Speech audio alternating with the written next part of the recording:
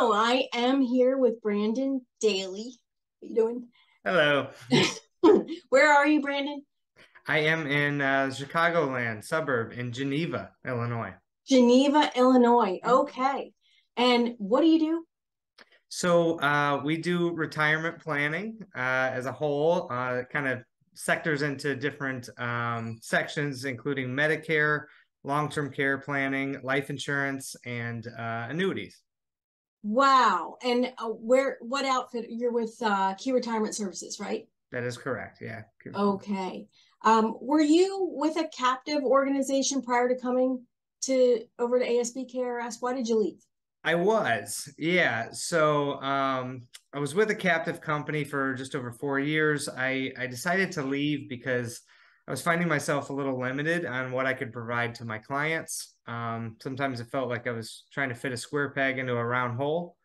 Um, so I wanted to to broaden that and give give more options to my clients. I also wanted to achieve my goals a little faster, which I was able to do once uh, once I joined American Senior Benefits.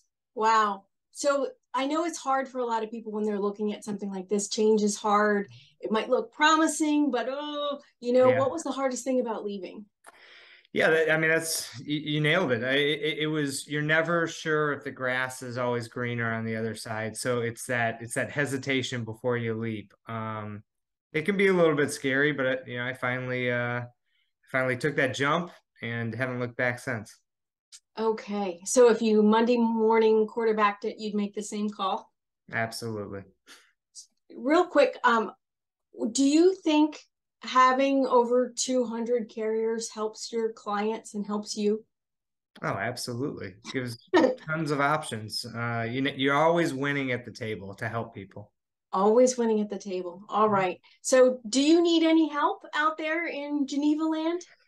Of course. Yeah, we, we uh, we're growing at a tremendous pace right now. So uh, we are always looking for you know brand new agents, experienced agents we have a lot of um, supportive systems within our culture to help, um, and and we're always on the on the hunt for people.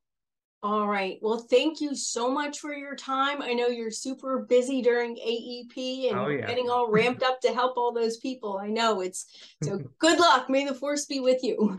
thank you so much. Bye.